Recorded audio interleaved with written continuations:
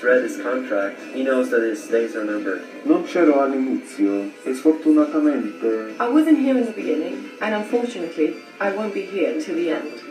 It kind of blows that I am, in many ways, making the bed for someone coming after me. But hey, that's life. C'est la vie.